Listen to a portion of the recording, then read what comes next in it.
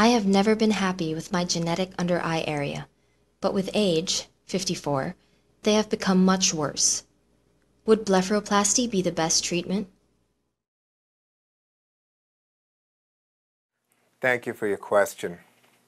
You stated in your question you've never been happy with your genetic under eye area and that it's gotten worse with age and you put uh, uh, stated your age is 54 with these uh, photos of the selected area of the eyes. And you're asking, is blepharoplasty the best option for you? Well, it's a very interesting question uh, because the term blepharoplasty is a very broad term. Blepharo means eyelid and plasty, derived from the word plastikos in Greek, means to change. To give you a little background about myself, I'm a cosmetic oculofacial plastic surgeon specializing in cosmetic eyelid surgery and facial cosmetic surgery uh, for over 20 years uh, in Manhattan and Long Island. And I would say that your eyelids actually illustrate um, a lot of important principles uh, that need to be addressed when someone like yourself is considering eyelid surgery. So when you look at your eyes, you notice that the lower eyelids are a little bit low relative to the iris or the colored part of the eye. I notice there's a little bit of a shallowness to the cheekbone. I notice that the, there's puffiness under the eyes. So when we look at your eyes and, and just to give you some perspective, the lower eyelid uh, structure is actually deceptively complex. So when you say the term lower eyelid blepharoplasty, it actually means something different to non-specialists like general plastic surgeons compared to specialists like oculofacial plastic surgeons. Of course, there are exceptions to these rules, but as a, just from a, a perspective of the focus and training and practice. So in someone like yourself, I would have to make a few assessments. One is how, how much tone there is to the lower eyelid. This is done with something called a snap test. And that helps me get a sense of the tone of the muscle and the integrity of the tendon that holds the eyelid in place called the lateral canthal tendon.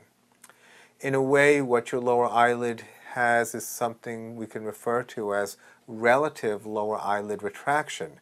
That means the position of the lower eyelid is relatively low and the, the misadventure that happens when a plastic surgeon will do the surgery is they'll make an incision on the outside, take away some skin, and it'll actually pull the eyelid down.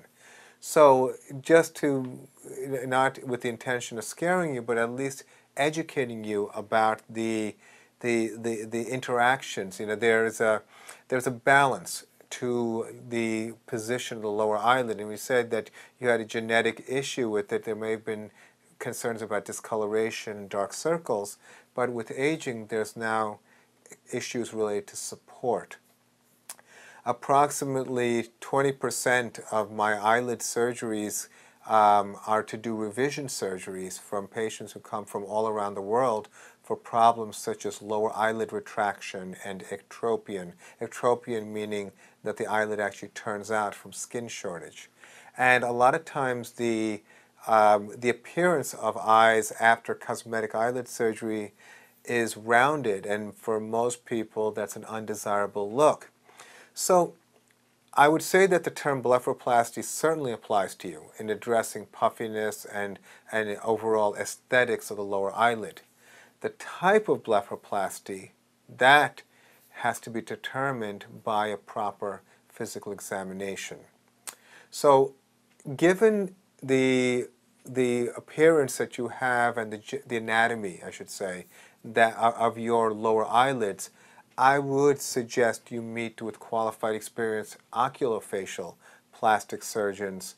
Um, and it's a small group, and, and, it may be that this may be the first time you've heard of this specialty because we're a small group and, and only anywhere from 10 to 15 doctors per year in the whole country get trained in this specialty. So I've been at this for 20 years, and and, I, and so even though um, it's a very important specialty, it's a small number, and most people don't think of oculofacial plastic surgeons when they think of cosmetic eyelid surgery. So it's important, in, in, from my perspective, that you meet with someone with that background and learn about the options, learn about the risks and benefits, and what is the ideal um, rejuvenation procedure for, for yourself. You know, for someone like yourself, we've done a combination approach of something called lateral tarsal strip, where we're reinforcing the the outer corner of the eye so that it can support the lower eyelid. Sometimes we'll put a, a, graft underneath to give the eye vertical height. We'll do something for the skin color with laser, with uh, platelet-rich plasma, and of course address the lower eyelid puffiness from a transconjunctival approach from the inside of the eyelid. Now that's just a initial impression without doing a physical examination. So certainly there was a laundry list of, uh, of sub-procedures that go under this global uh, um, label of uh, lower eyelid blepharoplasty. So again, it's, it's really understanding what your situation is and how to address it in the most optimal way. And once you find, find you're comfortable with the doctor you meet with, proceed, and I think you'll be very happy with your results. So I hope that was helpful. I wish you the best of luck, and thank you for your question.